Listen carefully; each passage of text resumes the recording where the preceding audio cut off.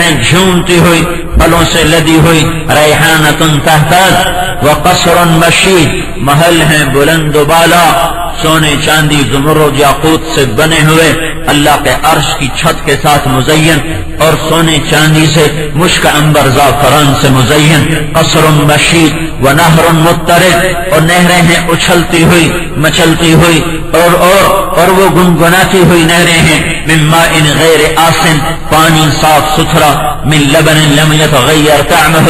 دودھ میٹھا مزیدار. من من عسل مصفا شہد بڑا صاف ستھرا. من خمر لذت للشاربین. شراب بڑی مزیدار. جو پینے میں لذت کے ساتھ وہ ایک ایک گھونٹ اس کا لذت بخش ہو اور کسی کا نام معین. کسی کا نام سلسبیل، کسی کا نام رحیق، کسی کا نام کافور، کسی کا نام زنجبیل، اور سب سے اعلیٰ درجے کی شراب، اس کا نام تسنیم ہے مزاج من تسنیم، عین یشرب بہل مقربون اس کا ذائقہ، اس کا ذائقہ نیچے والے جنتیوں کو تھوڑا تھوڑا ڈال کے دیا جائے گا، اوپر والے جنت والوں کو وہ خالصتاً پلائی جائے گی، تو وہ نہر مفترد ہے، نہریں ہیں نہریں یہ تو چار بڑی نہریں ہیں. ان نفل جنت نہرن اسم ہو ریان. ایک اور نہر ہے. اس کا نام ریان ہے. علیہ مدینت من مرجان. اس کے اوپر ایک مرجان کا بڑا محل ہے شہر کی طرح. لہو سبعون الف باب. من ذهب وفضہ اس کے ستر ہزار سونے چاندی کے دروازے ہیں. لحامل القرآن جو قرآن کے حافظ کو دیا جائے گا. پھر ان فی الجنت نہرن. اسمہ ہرول. جنت میں ایک نہر ہے. اس کا نام ہے ہرول. اس کے دونوں کناروں پر جنت کی خوبصورت لڑکیاں کھلی، کھڑی ہوئی ہیں. جن کے کھلے ہوئے بال ہیں، جو جو سر کی چوٹی سے چلتے ہیں اور پاؤں کی ایڑی تک بل کھاتے ہیں. اور وہ چاروں دونوں کناروں پر کھڑے ہوئے جنت والوں کے لیے ہر وقت گیت گاتی رہتی ہیں۔ ہر وقت ان کا کام ہے مدھم سروں میں گنگناتے رہنا اور جنت میں موسیقی کے سر ساز پھیلاتے رہنا۔ پھر ان فی الجنت نہرن اسمہ البیدخ پھر جنت میں ایک اور نہر ہے، اس کا نام ہے بیدخ۔ یہ فیکٹری ہے، یہاں یہاں کیا بنتا ہے؟ یہاں اللہ تعالیٰ حوروں کو بناتا ہے۔ اس میں مشک امبر زعفران کافور کی مامیزش ہے اور اس کے اوپر اللہ اپنے نور کی تجلی کو ڈالتا ہے۔ ہر تجلی کے اندر سے ایک حور نکل کے باہر آ کے کھڑی ہوتی ہے۔ فرشتے ان کو لباس پہناتے ہیں اور وہ ستر جوڑوں میں مزین ہو کر سر پہ تاج سجاتی ہیں۔ تو آ کر فرشتے ان کے اوپر خیمے لگا دیتے ہیں، ان کو خیموں کے اندر بٹھاتے ہیں۔ پھر وہ خیموں کے اندر بیٹھ کر اللہ تعالیٰ کے دربار میں عرض کرتی ہیں اور مل کر گاتی ہیں، اینا خطابونا اینا رجالونا اینا من نحن لہو. ہمارے خامن کون ہیں، کہاں ہیں؟ ہم سے منگنی والا کرنے کرنے والا کوئی ہے؟ ہمیں چاہنے والا کوئی ہے؟ ہم سے شادی کرنے والا کوئی ہے؟ وہ کہاں ہیں جو ہمارے لیے ہیں؟ جب رمضان کا مہینہ آتا ہے تو جنت کی ہو رہے کہتے ہیں، اللہ اس مبارک مہینے میں روزہ رکھنے والوں سے ہمارا نکاح فرما. اور جنت کہتی ہے اللہ، اس مبارک مہینے میں روزے رکھنے والوں کو میرے لیے، یا اللہ، تو مقدر فرما، تو جنت کو مزین کیا جاتا ہے رمضان میں، پھر جنت دعا کرتی ہے، یا اللہ روزے دار مجھے دے دے۔ پورے کہتی ہیں ہمارے ساتھ نکاح کر دے۔ اور اللہ کے نبی نے فرمایا منسان نفس ہو فی شہر رمضان، جس نے رمضان کا روزہ رکھا، اس کس طرح رکھا؟ کہ سر سے لے کر پاؤں تک روزہ ہو، روزہ صرف روٹی اور پانی چھوڑنے کا نام ہے۔ کتب علیکم کتب علیکم السیام علیکم اعلیٰ کا لفظ بتاتا ہے کہ روزہ سارے وجود کے اوپر چھا جانے کا نام ہے۔ صرف روٹی اور پانی چھوڑنے کا نام ہے۔ علیکم، کتب علیکم السیام تمہارے اوپر روزے چھا گئے ہیں۔ تمہارے اوپر روزے تمہارے اوپر روزوں کو ڈال دیا گیا ہے۔ سر سے لے کر پاؤں تک روزے میں تم چھپ جاؤ۔ دماغ بھی روزہ رکھے، غلط سوچ نہ آئے۔ آنکھیں روزہ رکھیں، کسی غیر محرم پر شہوت کی نظر نہ پڑے۔ کان روزہ رکھیں گانا نہ سنے، ناک روزہ رکھے، غیر عورت کی خوشبو نہ سونگے اور اور اور زبان روزہ رکھے، گالی نہ بکے، جھوٹ نہ بولے، غیبت نہ کرے، چغلی نہ کرے، لگائی بوجھائی نہ کرے، ظلم و ستم کی بات نہ کرے، منہ روزہ رکھے، روٹی نہ کھائے، پانی نہ پیے اور اور حرام نہ کھائے۔ جھوٹ کی روٹی، رشوت کا رشوت کی روٹی اور لگائے اور اور کھوٹ کا مال اور خیانت کا مال بدیانتی کا مال، دھوکہ دہی سے کمایا ہوا مال، ہیرا پھیری سے کمایا ہوا مال۔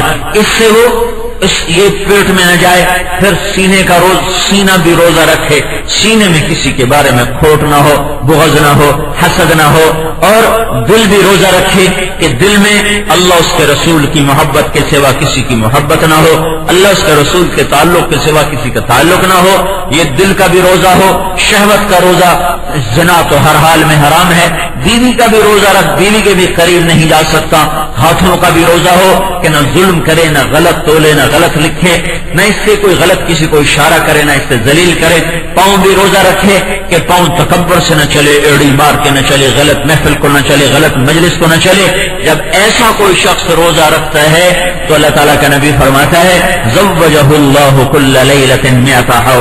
اللہ تعالیٰ ہر روزے کے بدلے میں جنت کی سو حوروں سے اس کا نکاح کرتا ہے۔ وبنا له قصرا اور اس کے لیے جنت میں ایک گھر بناتا ہے۔ لو ان دنیا كلها وضعت فيه لكانت كمربت انزل من الدنيا۔ اگر ساری دنیا اس محل میں رکھی جائے تو جیسے ایک بکری پوری دنیا میں کھڑی ہوئی نظر آتی ہے۔ بکری چار فٹ اور زمین چوبیس ہزار کلو میٹر چار فٹ کو چوبیس ہزار کلو میٹر سے جو نسبت ہے، اس ساری دنیا کو روزے دار کے محل میں وہ نسبت حاصل ہوگی۔ جیسے کونے میں جوتا پڑا ہوا۔ جیسے کونے میں وہ کوئی سلیپنگ بیگ پڑا ہوا، جیسے سلیپنگ بیگ زمین پہ رکھو، جیسے بکری کو زمین پہ رکھو، وہ کیسی نظر آئے گی؟ یہ ساری دنیا روزے دار کے محل میں ایسی نظر آئے گی کہ جس نے اس طرح روزہ گزارا تو رات کو تراوی میں اللہ کے سامنے کھڑا ہوا تو ہر سجدے پہ ڈیڑھ ہزار نیکی لکھی جائے گی۔ ہر سجدے پہ ڈیڑھ ہزار نیکی تو چالیس سجدے کیے، ساٹھ ہزار روزانہ جیب میں ڈال کے جا رہا ہے۔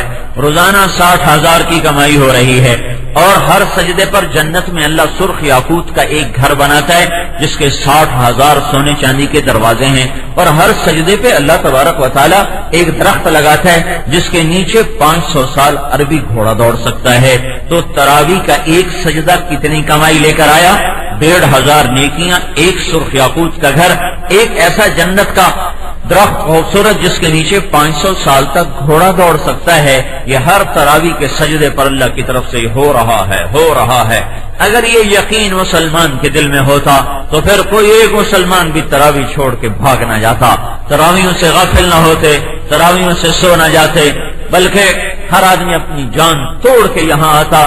میں ایسے ہی مذاکن کہا کرتا ہوں، یہاں اعلان کر، یہاں لکھوا دو، تاہا مسجد میں اعلان۔ کہ فی تراوی کے سجدے پہ ڈیڑھ سو روپیہ ملے گا، پھر دیکھو باہر کیسے لڑائی ہوتی، چاقو چلیں گے۔ کہے گا، میری اما نو بھی اندر واڑو، میرے پیو نو بھی اندر واڑو، نال میں بھی واڑو ہے بس ملنے کا ڈیڑھ سو روپیہ۔ ڈیڑھ سو روپیہ فی سجدہ، تراوی کے ہر سجدے پہ ڈیڑھ سو روپیہ۔ وہ قصور اکاڑے تک سے خلقت یہاں آنا شروع ہو جائے گی۔ اور میرا میرا رب کہہ رہا ہے، ڈیڑھ ہزار نیکی، ڈیڑھ ہزار نیکی، ایک سرخ یاقوت کا گھر ایک درخت اس کے نیچے پانچ سو سال گھوڑا تو دوڑائے تو دوڑتا چلا جائے۔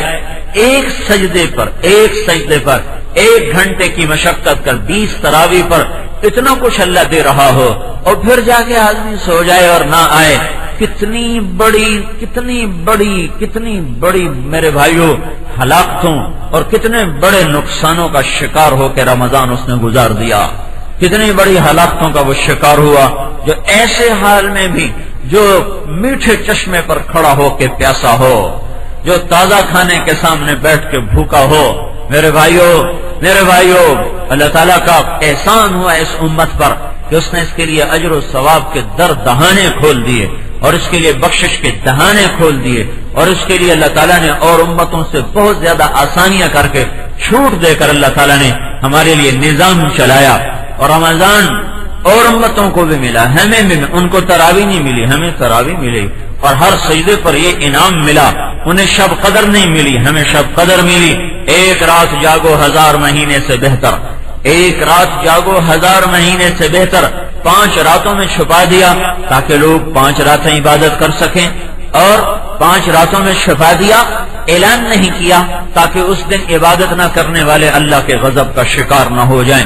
اللہ بتا دیتا کہ یہ رات ہے۔ پھر اس رات لوگ گا بھی رہے ہوتے ناچ بھی رہے ہوتے تو بندر اور خنزیر بنا دیا جاتا تو اللہ تعالیٰ نے یہ فضل فرمایا، چھپا دیا تاکہ عذاب نہ دے۔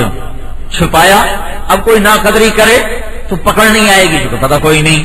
دوسرا، چھپایا کہ طلب کرنے والوں کی طلب بڑھ گئی۔ ایک کی بجائے پانچ راتیں جا گئیں چار پانچ میں سے ایک تو یقینی ہوگی۔ پانچ میں سے ایک تو یقینی ہوگی۔ تو یہ اللہ تعالیٰ